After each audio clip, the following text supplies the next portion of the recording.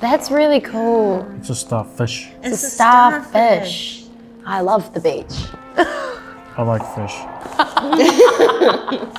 also, also like stars.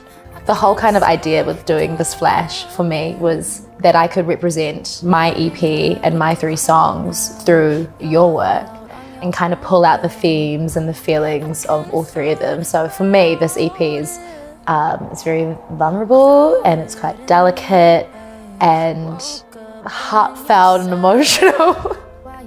like very ballad, ballad worthy, maybe. Um, we're back on the ballad topic. Hearts, ribbon. Okay, I think I would rather have a star over a ribbon. I was gonna get the ribbon, but I, although a ribbon would look really cute there. That's How the many thing. do you have? I have one, two, three, uh, four. I have four tattoos. For me, picking themes that represented those feelings. So, for instance, the heart, I felt like the heart is a good sentiment for all three of the songs. Um, because all the three songs relate to either heartbreak or heartache or love. So that was something I, I wanted to implement. I loved the doorway because one of my songs is called Home With Me. And to me, it was like entering the doorway and like coming back home to someone again. or- That oh, makes sense. yeah, you're I, like, why, I saw, why the, am I I saw the doorway? doorway and I was like, that's cool to draw. yeah, yeah what is, And, what is and this? I was drawing, I'm like, why am I drawing a doorway? Yeah, and then everything else on there to me just feels, yeah, fits that kind of delicate vibe. The stars, there's a line in one of the songs that's, your heart's a golden star. So that's why I would, that's why I went for a star. I'm thinking the little bow on my foot will just look really like cute. On left foot, right foot. Yeah, because I've got like some ugly like old stick and poke from when I was like maybe year 12 on this one. I'll print it out and you can Fiddle, okay. play with it. Great, thank you. I feel like a bow is very delicate. How big were you thinking? I think quite small, maybe like that. Yeah.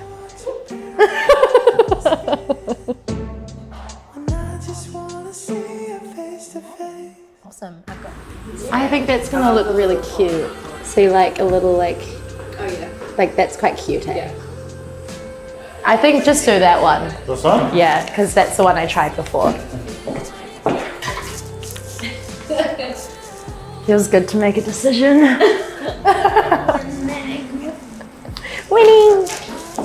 It's cool because I have started like incorporating my culture into my work as well through my I've pretty much rebranded my project in the past few years and really wanted to look at like my Māori roots and like weave that into like my logo design and look at like Yeah, I saw that logo when I was doing the outline of it. I was like, this is this is like drawing a moko flow. Really Yeah. that's cool When I was doing this part in here, it was like exactly how I would draw a moko on an iPad. I Yeah, like cool. doing the, these shapes. I was like, I haven't done this for a while. sick I'm glad that you feel that way I when we did the when we designed the logo we intentionally looked at traditional Māori art and like even just like weaving and things I've got two logos the other one has my name Riiki Reid and it weaves between each other and um, yeah I don't know really amazing artist Teodiki did my logo but it was something that I really wanted to like implement and like hide in nuggets through my Yeah. project Subtly. yeah. Yeah. Yeah, really subtle. Like, I like don't that. think anyone would look at it and be like, that's, you know, but it's got a story. It's trippy. It's good. All right, you ready? Okay, ready. Are you sure? I'm ready. it's more, if anything, I'm quite like a flinchy person. Kinda saw it coming. I gotta go home now. You're out on your own now. I kinda thought about. Yay! Thank you so much. That is so cool. Yay! My, my Riiki Reid tattoo. zones. I've been in the